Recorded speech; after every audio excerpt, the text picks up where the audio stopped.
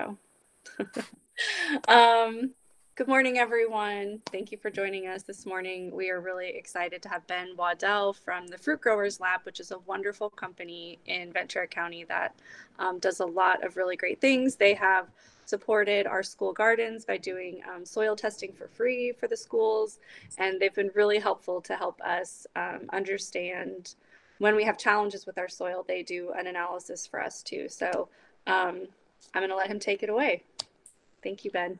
Thanks, Anna. So I wish I had a little bit more on the tech end for you guys. I'm actually doing this on my cell phone. My uh, my network wasn't wanting to let me connect. So, um, but here I am.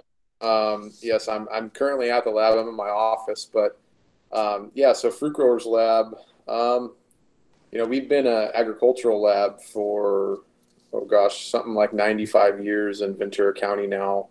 Um, got started quite a while, quite a while back, 1925, I believe.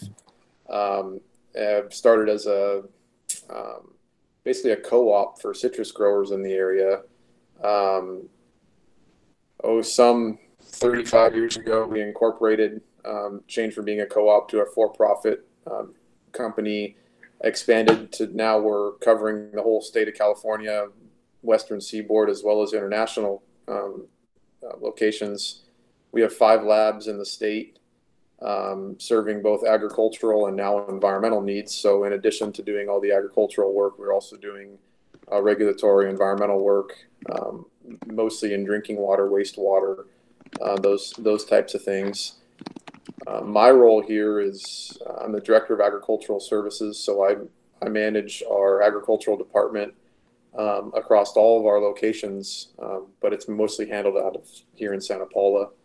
Um, my day to day, you know, it can range from being in the field collecting samples to meeting with clients and helping troubleshoot problems they may be seeing um, and, and this ranges across not just agricultural settings, but also homeowners, landscape, um, you know, pr- private gardens, stuff like that. So it's it, there's uh, quite a few different aspects to it. Um, at the lab itself, um, you know, probably the, the, bread and butter, I would say, of our, our ag department um, is, is in tissue analysis. We do a lot of um, leaf, petiole, those types of tissues uh, across all crops, um, as well as landscape plants and other other non-edibles. Um, basically, you know, we analyze for nutrient status in those tissues, and and that's you know we might do four or five hundred samples a day or more in some of our peak times. So right now we're getting a lot of um, walnut, pistachio, and almond samples from the Central Valley. Hmm. Um, you know, several hundred at a time coming in every day. Um, during the winter time, late late fall all the way through winter, we're doing a lot of soil analysis, kind of what Anna mentioned, um, looking at um, current fertility status in the soil, how we can amend, how we can fertilize to optimize crop growth.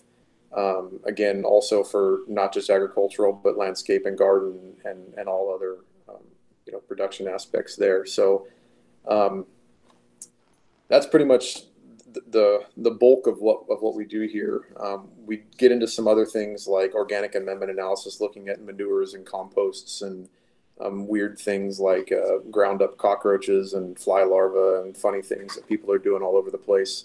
Um, composting has been kind of a big thing in the last couple of years, so there's more and more interest there. Hmm. Um, we also look at um, um, specific soil blends and and and help kind of guide people on how they can optimize those situations. Um, but it's it's pretty we spend most of our time doing. Um, to kind of give you guys a little bit of background on on how I ended up here, um, it's actually interesting. Um, I think I was aware of the farm to school program before I was aware of Fruit Growers Lab. Um, I was actually in school. I, I only graduated from college two years ago. Um, and uh, a, a, buddy of mine, Anna, you probably remember Jared Logan. Yes, Jared's a good friend. Yeah, yeah. he's he's one of my close friends too. And I, I was actually coming out of a, a, 10 or 12 year career in, in restaurant management and doing some other things and had gone back to school. And, and he contacted me um, about writing him a letter of recommendation actually to come work for you guys this program. Yeah. So that was when I first heard about it. um, I had no idea that. Well, I knew about fruit growers, but I hadn't put much interest into them at the time. I was studying biology at Channel Islands here locally, so um, uh, I you know wrote him a letter of recommendation, and and it was always kind of in the back of my mind, like, oh, how cool! I wish they would have done something like that when I was going to Camarillo, and you know we had our ag our ag department, but it, it was small, and I didn't do anything with it at all. Um, so anyway, I'm kind of getting off track here, but um, at the time I was in school um, studying biology and had decided I wanted to become a pest control advisor, which is a um, another big um, ag career here in the area, kind of a, a good entry level um, way into the industry if you're not a, a, a long term um, generational farmer, if your family doesn't own property already, or you know any of those aspects of farming that seem foreign to most of us because we're not all landowners, but. Right so anyway, I started on this PCA program. They they had the pathway to PCA coursework out at Channel Islands already somewhat lined up, so I was taking classes there. Um, we had a, a, PCA, local PCA, who does a lot of work with CAPCA and knows knows us here at Fruit Growers pretty well. Also, a family friend of mine, oddly enough, who came in and gave me the contact for Scott Busey, who you know, Anna. Um, gave him a call, and and I was fortunate to find that they had an opening. Um, Scott was wanting to retire; they needed some help in the lab, so I spent a year working in the lab as a chemist um, while also learning some field work and, and getting a feel for, for how ag functions. And uh, when Scott retired, I spent about six months uh, while leading up to his retirement training under him and doing a lot of field work with him and our field staff. Um, and, and now that he's mostly retired, I'm, I'm also doing the people management and, and running the, the the lab side of it as well. So um, it's been a crazy couple of years. Um, That's in, a cool story. Yeah, and amongst all that, I also had a kid, got married, um, and did all the you know all the other life things that you know happen sometimes faster than you're expecting. um, but it's all been really good. I'm really fortunate to have FGL. This is a really great company. Um, I've learned a ton, and I'm still constantly learning. Um, just prior to getting on this call, I got a call from some citrus guys down in um, uh, Coachella Valley, who are mostly lemons down there, and um, we had a long conversation about tissue sampling and nutrient ranges and all these things that six months ago I probably wouldn't have been able to answer half those questions. So it's it's been it's been interesting. Um, I've also recently, um, well, six months ago or so, passed my certified crop advisor test, and I'm waiting waiting on that certification to be finalized. COVID nineteen, as I'm sure you guys are always really thrown a wrench into plans. Um, so that slowed things down on that, but it's one extra certification, kind of another feather in the hat that'll work um, uh, to my advantage, you know, in this career. So um, yeah, that's kind of my story. Um, I don't know if anybody has any questions or is curious about anything. You know, jump in anytime. That's a great happy story. to ask questions or answer so, questions do you travel? Because I know Fruit Growers Lab, you guys had there's like they're kind of throughout the state. There's a or there's at least. Yeah, wrong? so we're in San Luis Obispo, Stockton, Chico, and Visalia. Okay. Are our satellite facilities. Those locations are set up primarily as bacteriological labs and sample collection points. We run field crews out of there. Um, they do a lot of environmental work, particularly out of Stockton, San Luis Obispo. Um, Visalia spends a lot of time doing ag work, but they also have a good amount of environmental clients as well. So, um, but we have them set up as bacteriological labs, um, so they can do what we call short hold time. Some samples they have to be um, essentially on an instrument or, or, being analyzed within a certain number of hours. It's just not feasible to get a sample from Sacramento to Santa Paula in six hours. Can't even drive it that fast. So, yeah. Um, so we have those to, to serve customer needs in those regions. Um, and the question is, do I travel? And, and yes, I do. Um, this year has been much less than the couple of years past. Um, a vast majority of my traveling is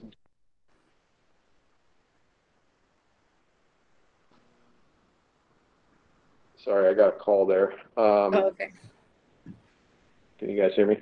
Yeah. Uh, a, a, vast majority of my traveling is for um, uh, trade shows and other conferences and continuing education type stuff. Um, I do occasionally go to helpful sampling. Um, I don't do a lot of customer outreach um, specifically in some of the more distant areas unless we've planned it all out and are, are going to do a, a bunch in, in one trip. Um, the last two years we've been doing um, what we call our grower appreciation continuing education events where we go set up a conference and bring in some of our clients and do talks and stuff like that. Um, so I do travel for those. Um, but I, I'm, I'm plenty busy just here in Santa Paula and, and, and have field guys in our, our other locations that kind of are my eyes and my ears. And I spend a lot of time through email on the phone helping troubleshoot in some of our distant areas. Um, hopefully, once all this COVID stuff settles down, we do have some trips planned up through Sacramento, Stockton area for some customer outreach and um, trying to do some training meetings with some of the guys up there, kind of helping remind them why they sample, how they sample, um, how to best utilize the data that we generate for them. Those those kinds of things. Um, you know, and it's it's it's double edged. There's definitely um, a business building aspect to that, but also you know we're wanting to help these guys out. Um, we feel that our work is um, is real is real big in, in helping the environment and helping out farmers maximize their productivity while minimizing their inputs and um, you know, it saves them money. Um, it, it, makes the regulators happy. Um, you know, turning their attention to water quality issues and things that are becoming more and more important these days um, is is good work, and I I'm, I feel really good about it. It's nice to be a part of that, mm-hmm. um, and and being a part of it on on a you know mostly independent side. You know, we're not regulators and we're not industry really. Well, we're industry, but we're not we're not growers. We're just simply the data generators, showing them where they stand and how they can do things better, um, while not trying to sell them fertilizer. Uh, um, so, um, so we're we're really proud of that. Um, not not all labs can say that, and uh, I, I think it's a it's a good thing. So. So in other words, you guys are non-biased, and you don't really have non- an agenda other than to do right by your client who's the farmer and so exactly um, yeah. which might make you different than other maybe labs that do different perhaps yeah i, I think maybe the you guys i think maybe the biggest difference is and um, sometimes we get to be the bearer of bad news you know we're not always going to tell them what they want to hear sometimes they just need to hear what the what the, the facts of the situation are and if that means they're crops are struggling because they're not fertilizing enough, then so be it. And we have to tell them that. We're not just going to tell them, yeah, you need to apply more because we have it on sale for you. that you know that that kind of thing. So um, I want to show. So while you were talking, I found an old report. Um, this is from 2016. I can't believe I've been doing this this long, but um, I'm going to share my it with the students so they can see it. Awesome. Um, yeah. So let's see if you guys can see this. Yes. It's like a PDF.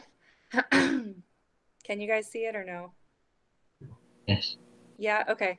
So this is from um, the channel, this is from Channel Islands High School. So we did, we built a garden there on this like empty dirt lot um, at the school. And so um, someone who works at the company named Jamie Johnson, he came and he did uh, samples of the soil and then they took it back to their lab and they ran an analysis on the soil we gave them. And this is what they told us. So um, they told us our nitrogen was low, which isn't surprising. There was nothing at the time, there was nothing growing on this piece of like land, right?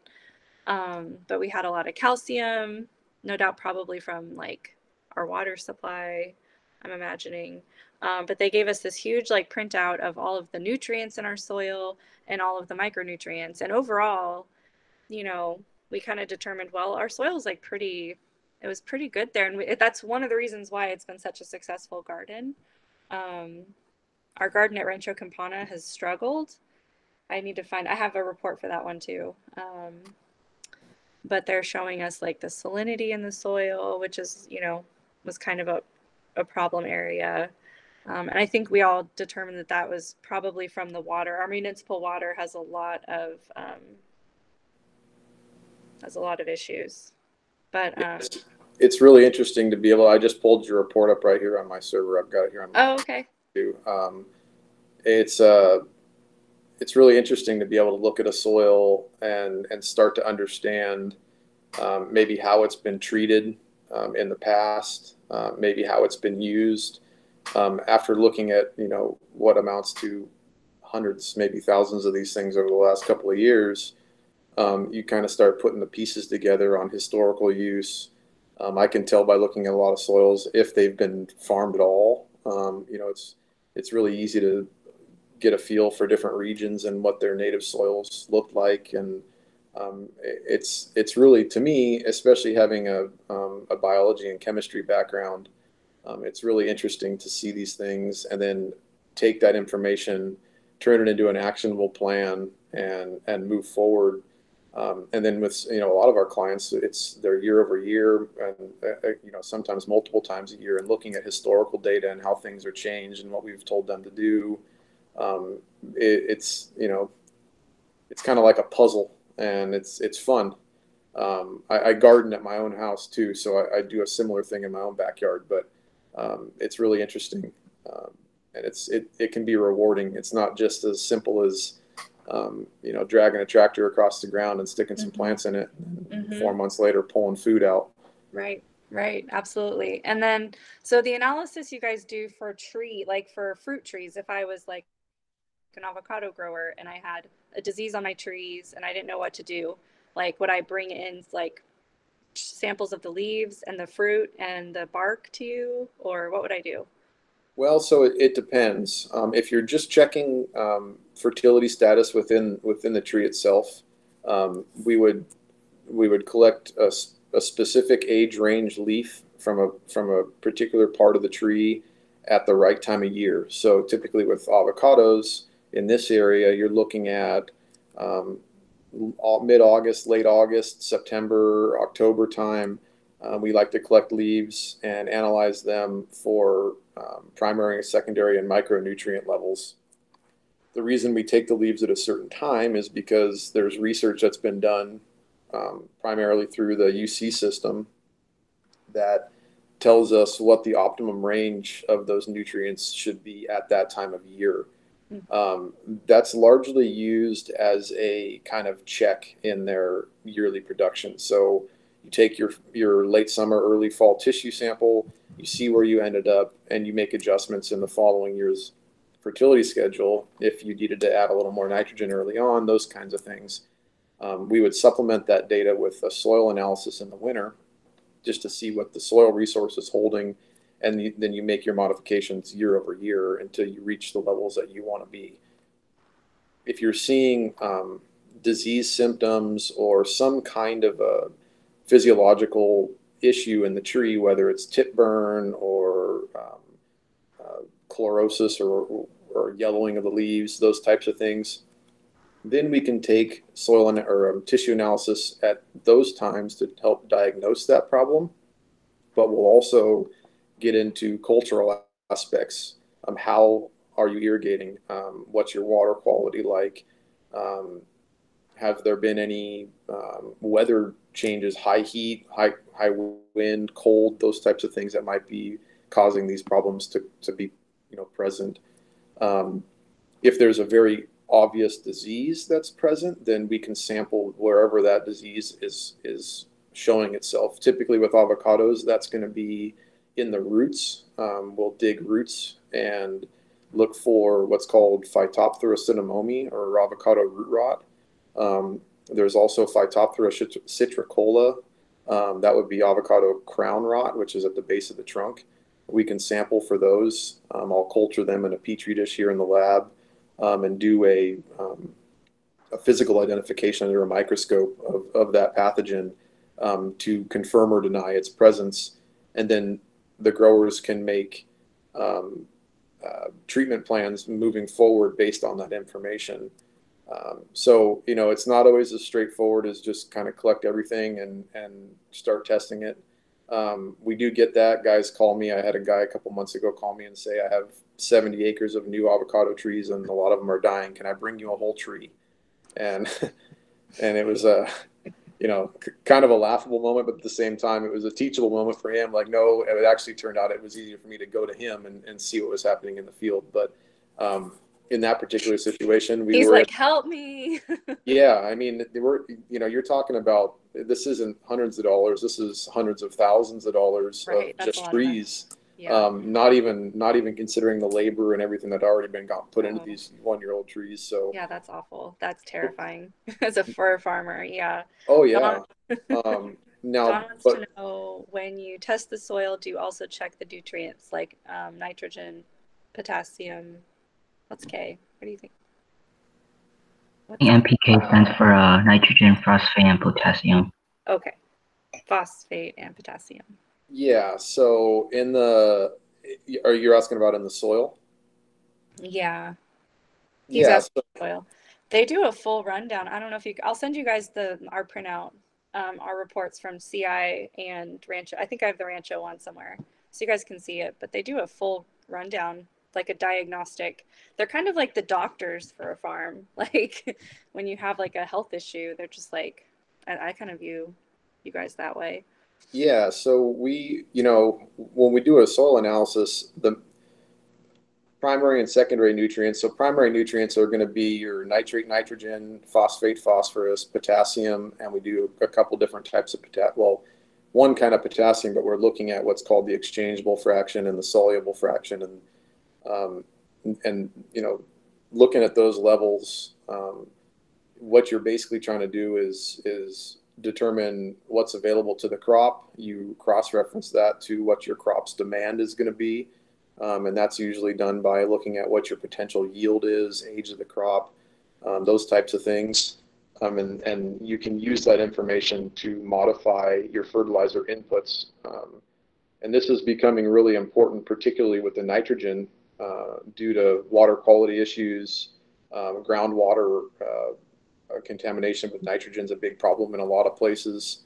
Um, it's rendered a lot of wells in different parts of the state unusable due to um, the hazards of drinking high nitrate water.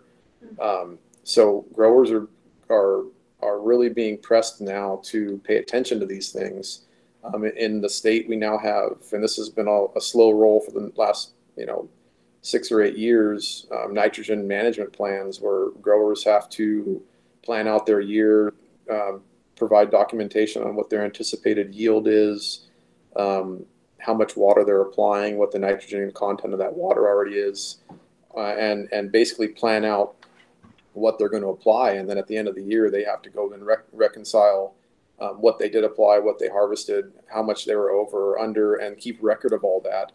Um, as we move further along into these regulatory um, uh, pathways, more or less, uh, there's going to be enforcement on on these types of documents, and, and growers will have to be accountable for the nitrogen they're putting on. Um, just north of us here, Santa Barbara County, up through Salinas Valley, Monterey County, all up in there, the Central Coast region, um, they have some very strict rules, and it's um, if I was a farmer um, in that area right now, um, I, I, w- I would be um, thinking about selling. to be honest with you, um, you know they're, they're looking at some really stringent rules that are that are challenging, and we're doing a lot of work with the Central Coast Regional Water Quality Control Board right now, um, helping them implement some of these upcoming changes to their to their ag order, and um, it's it's really. Uh, um, Well, that's where all of the contamination's coming from, though, right? It's like when they have an outbreak of E. coli, it comes from Salinas. um, so, you know, am I wrong? yeah. So, E. And we think it's and- because that's also where you have like you know, you, you hear about all the, um, no, um, you, you hear about all the, the food safety things and, and these big E. coli outbreaks and, um, you know, there's, you could point your finger at a lot of different issues there. Water is certainly one of them. Um, but it's the uh, animal wild animals and other like things getting out into the fields, I think is another part of it. Um, yeah. and they're def- Sorry. near- well, it's like the, it's like nearby. the, yeah, yeah. So there have Oh. you're cutting out there. Sorry. so it's like the animal farms are really close to say where they're growing spinach or um, romaine lettuce, right? And that's that runoff from those animal farms gets into the water systems, and so Um, Yeah. But this is interesting for the students to consider. So what we that- do, um, this Oh, is go ahead. Go ahead. this is a big part of, of what our water analyses are looking at. We do, we're, you know, we look at, um, we're looking at, uh, um, we, and we do a lot of this, what they call our, our, our we call it a GAP back T or GAP stands for Good Agricultural Practices. We basically analyze water for bacterial load. Um, we're looking at fecal coliform, E. coli, um, you know, potentially pathogenic bacteria in water, and, and a lot of farmers are they are required to keep record of these water analyses on on the farm as part of their um, good agricultural practices certification. Um, is it going to catch everything? No, but it'll bring awareness to potential issues that are arising, um, and I, that kind of all falls into some of that you know that feel good work that we do that we know we're helping by by participating in um, and it's there's a lot more uh, I guess pressure you could say being put on some of these farmers to do this stuff because of public perception and the fear of our food being contaminated with pathogens. Um, and we're gonna we're gonna see more of it. Um, it's it's not going away. It's not gonna lighten up. Um, it's it's gonna be more and more. Um, but it, it brings up an interesting point. You know, as a lab, we, in a sense, benefit from these high regulatory loads. Um, you know, when the government comes in and says, now you need to test for X, Y, and Z, um, you know, we take a lot of pride in being able to step up and say, we can do that, we're here for you, um, and how can we help? Um, but it also does something um, kind of both on the regulatory side and on the, and on the agricultural side where it drives the development of new positions. Um, it, it, it makes a need for more people, um, more well-educated people who understand these things and how these systems work um, to help the farmers um, make good decisions um, you know, consulting and, and being educated in, in how to mitigate problems, how to identify problems. Um, that's going to really be a huge thing, you know, in the next number of years. Um, it's already a big thing and it's going to continue to grow. Um, and it just opens up the door to a lot more agricultural type jobs um, that are above and beyond the kind of perceived farmer stereotype um, Right. which Right. um, it, it- you know depending on where you stand in the industry it could be a good thing or a bad thing a lot of guys are very opposed to the regulation they're very opposed to having to do the extra work and spend the extra money um, but at the end of the day it's it's really a sign of the development industry Right. Absolutely. Gosh, I'm so glad you said all of that um, because I think, you know, the message for students, and I agree with you. So, food safety students is like this new, there's a new law that the government has been passing for years and they keep extending it. to anna you're breaking up farmers. quite i don't know Oh, okay. Students, can you guys hear me? Yeah, okay. Um, so this food safety is like this new law that the government has been working on. It's called the Food Safety Modernization Act, and it's requiring farmers to to basically test their water supply, like Ben's talking about, and test their soil, come up with a food safety plan that basically is showing responsibility on the part of the grower to say that we are growing our food responsibly. We're making sure that the food is safe and not contaminated, and it's safe for people to eat. In a nutshell, um, and so I think up until now, work that they do at Fruit Growers Lab has been um, farms are looking at ways to improve their crops, to make it more product, to make their crops more productive, right? Um, but I think with this change in food safety laws, there's going to be in the next like 10, 20 years, probably a huge increase in people who do the work that there's going to be a bigger demand for jobs like what Ben and his coworkers do at Fruit Growers Lab because farms, um, they're now going to be required to do all of the testing that he's talking about. Um, and it's just a completely like new way. It's like a new way of thinking for farms. Um, I tell the students I have, I have a whole lot of farming family and they, um, you know, I ask them how often they test their soil, and they'll say, We only test the soil when there's a problem, and we don't have any problems. And so we don't test our soil. And we know where the water, they know where the water is coming from because they have a well on their farm and they pump it. But um, when this law comes into effect, and that's just a very common way for farmers to think, but when this law comes into effect, like they're going to have to, um, they're going to have to start testing their water and their and their soil and doing these things that he's talking about. Um, he's coming back. um, yeah, that's super interesting, Ben. Um, so John wants to know how do we know when to add certain nutrients to the soil?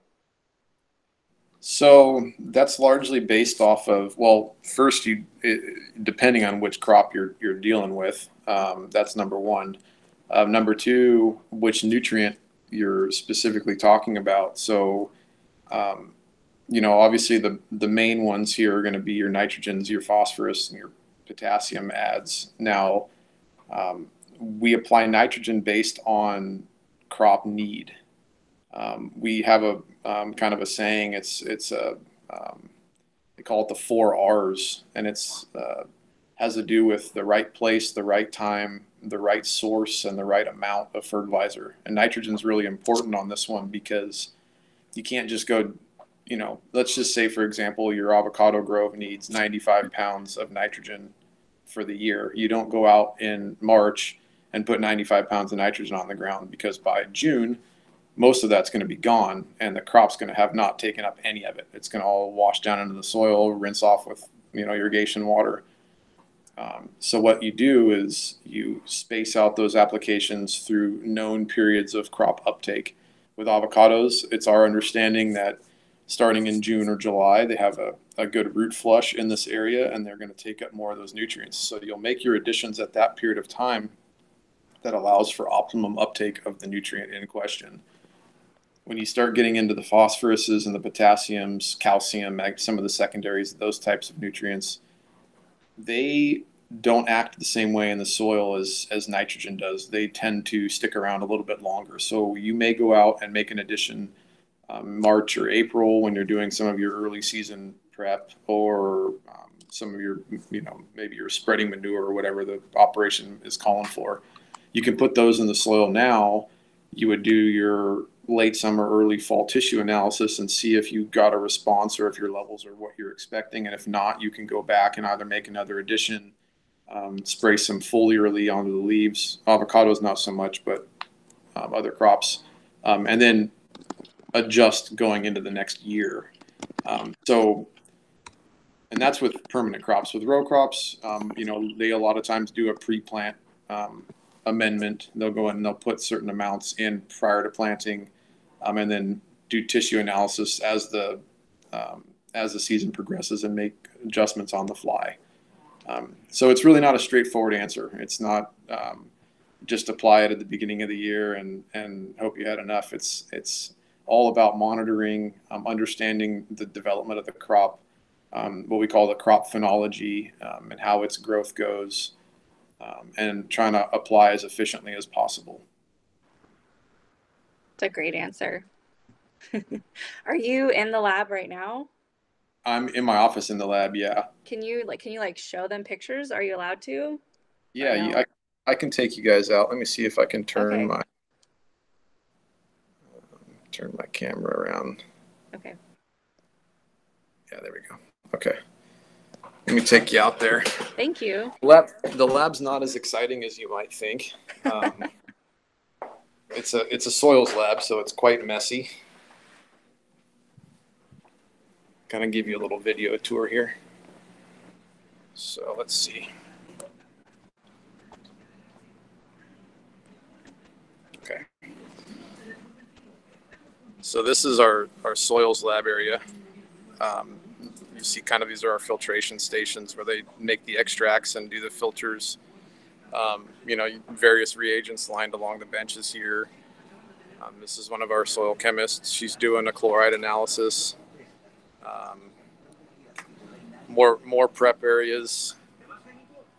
See, it's rather scattered, but These are more more filtration stations for doing uh, saturated paste of soils. Um, take you back here and show you our grinding room and stuff. It's going to be a little loud. So they're let me get out of the noise here. They're back there grinding tissues um, that we've received over the last couple days. This is where I do all my. Actually, here I got some I can show you. My little microbiology station here. This is a an incubator. Uh, let's see here. So these are these are uh, citrus root rot. I just made these yesterday, so I don't think we're going to see anything growing in there yet. But um, this is looking for um, uh, looking for citrus root rot. Um, this is from a local a local orchard in Ventura. Uh, let's see. Let me move over to some of our instruments so you can see where some of the cool stuff happens. So this is what we call our LECO lab. And these are, can you guys all hear me okay? Yeah, we can hear you. Okay. So these are, um, these are what we call combustion analyzers. Um, I think, let's see if this one's not running right now, but basically what these do is these take a, a small sample aliquot that are put on these carousels, um, takes them in, burns them at about uh, 900 to 1,000 degrees Celsius, um, so pretty high, and spits out data. Um, so this is a screen. Um, this particular analyzer is looking at percent nitrogen, percent carbon, and percent sulfur, um, and it can be done on both tissue and soil. Um, actually, is it running? That doesn't look like it is. So anyway, um, you know these are being ran almost 24 hours a day, constantly doing something. Here's another one. This is another LECO combustion analyzer. This instrument's older than probably all of you guys combined. Um, but this is this is looking at percent nitrogen, total nitrogen in in plant tissues. Um, so that one, these these are our workhorses. These things are are constantly being used. We have two of them. Um, really important, and probably one of the most abundant an- analyses we do is a, a nitrogen analysis. And we just got hey Dave. What's up? I haven't seen them. We just got this is one of our newest instruments. We just got this one installed in the last couple of days. It's another combustion analyzer. Um, as you can see, the tech on these is um, uh, quite a bit more advanced than some of the older ones. Yeah, that looks Um, fancy. Yeah, it's pretty cool. Um, so they're still setting this one up, but it, it'll do much the same of what that other one's doing, just with better technology, easier to use, easier to access and maintain. Um, this is all a job in and of itself, and we have our, our lab manager runs all these. Um, quite a bit of work that goes into it. Um, and, and believe it or not, that's pretty much everything. Um, we have one other lab space. Um, it's really loud in there. I don't think you guys will be able to hear me, but that's where we do our uh, micronutrient analysis on on both tissue and soil. So, um, and that's done on what's called an ICP or an induction coupled plasma um, analyzer, essentially. So, that's pretty much the lab. Um, I, I can show you one more quick thing here. Okay, this is awesome. Thank you. Yeah, no problem. So these are all of our drying ovens. Um, we got a whole bank of them here. It's on both sides. Um, all of our um, soil and tissues will be put in here at different temperatures, dried overnight before being ground. Um, another pretty minor but critical part. You know, without being able to dry all the samples properly, we wouldn't be able to analyze them. So, um, and then the other whole half of the building is all of our uh, um, environmental stuff. So we've got over there a radio uh, radiological lab looking at um, radioactive components of water. Um, we have a bacteriological lab doing all of our bacteriological analyses for drinking waters, wastewaters. Um, we have our wet chem. Same thing. It does um, drinking waters, irrigation waters. It goes on and on. We have a pretty long list. I can actually, if you could probably find our list on on the website, but there's hundreds of different analyses you can you can choose from. So it's uh, it's it's pretty in depth. Wow. John has more questions. He's our he's our class gardener. Um, Awesome. says, when you collect samples of soil, how many samples do you collect from one farm or property? So we base that off the a couple things. Number one, probably biggest, is the size. Um, in a perfect world, you could go out and, and sample every 10 feet and, and have a really, really huge data set. Um, but in reality, that's time and cost ineffective. So um, I typically recommend, if possible, to sample about once one what we call a composite sample per about 10 to 20 acres would be ideal. Um, we'll stretch that to about 40 acres if, if it's a consistent area. Um, unless you're out on the Oxnard Plain, um, you don't have a lot of consistency in this area when we spend a lot of time with the avocados and citrus guys up in the foothills. Um, lots of topography, hills, valleys, all those things going on. So now we got start getting into um, you'll sample different aspects. So if you have a south facing slope, you'll sample that area as one. You might sample the top and the bottom separately, those types of things. Generally speaking, for a 40 acre farm, um, you're looking at anywhere from one to about six soil samples that are collected as a composite, which could mean anywhere from 15 to 150 different cores being pulled from the soil and put into a bucket mixed together um, to give you as uniform as a sample as you can as you can get. So we've been too, just so students, you guys know, once we're once you're back at school and you're able to go back into your science classes, um, the farm to school team, we um, purchased like little soil testing kits. They're Oh, cool. definitely not as fancy as as what they have here in the lab, but um, we've been working with different biology teachers, environmental science teachers um, to do soil testing and show students how they can do it because it is possible to do like a, a light version of a soil test at home. Um, and we just purchased um, some core. So like it's like this uh, metal thing and it goes down and it takes the core. Um, so that way we can have a couple of those too. Worth every penny. Yeah, we're excited. Um, and then we purchased, we're working on getting water filters to filter our water from the, because we're just using like municipal water so we can Yeah. filter out some of the, the bad stuff in it. Um, Very good. yeah, we're trying slowly but surely. Hey, that's Um, that's the key. do you guys have any more questions? This was really, really interesting. I think this is, this was really cool. Students, also quiet. Um, yeah, what I love is that this is a side of, of agriculture that's focused on focused on science entirely. So for all of our kids who like science, um, you know, this is something to think about. Yeah, absolutely. Um, and you know, there's so many aspects to the science that that I think go unrecognized. What really got me into it, aside from being a gardener and, and enjoying this stuff, you know, on my own prior to getting into ag, um, what really piqued my interest into agriculture was insects. Um, and I was, like I said, I was a biology student, um, and one of my elective options was entomology. Um, and that class, I loved every second of it. I like couldn't wait to go to that class every week, and um, I learned a ton. I, I, it's almost like one of those classes I took and get an A in it and feel like you didn't even do any work because you enjoyed it so much. Um, and it's such a massive part of ag. You know, understanding insects, Mhm. um, understanding how they affect our crops and those types of things is huge. And it's also probably one of the higher paying aspects of ag too because it's just so important. Um, and so, you know, there's that direction. And then there's the chemistry side. You know, if you're into math and chemistry, then there's, you know, a ton of that going on with nutrient interactions and fertilizers and it just goes on and on. It's it's really not just as simple as um, you know, understanding plants. There's a lot more to it. Um, Right. so you know, don't don't shortchange yourself. Um, you know, when you're when you're choosing school and, and looking at classes that are you know out there to take. You know, Ventura College has got a great ag program that they fired back up, and I'm really looking forward to where they go with that.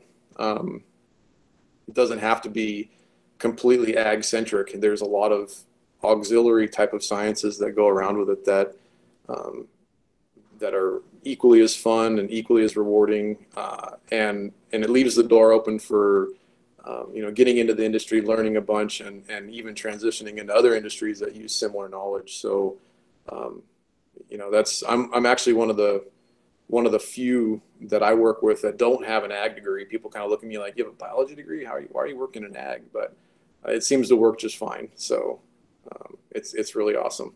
Yeah, it is. It's wonderful. Very, very good. Thank you. If you were in class, they would they would be applauding. Oh, thanks, guys. Thank you so much for your time. Does anybody else have any questions? I'm going to let him go. Okay. So And- nice to meet you. Oh, thank you. They're all saying thank you. Thank Oh, you, yeah. Ben. Really nice to meet you. And uh, feel free to share my email address and stuff with them too. Okay. If, if anybody has any questions, they can always reach out to me directly. Okay. And I'll Oh, send you the link to our video. Yeah, please do. Okay. Thank you for the tour and everything. It was wonderful. Uh, absolutely. Nice talking to you. Bye, All Ben. right. Bye.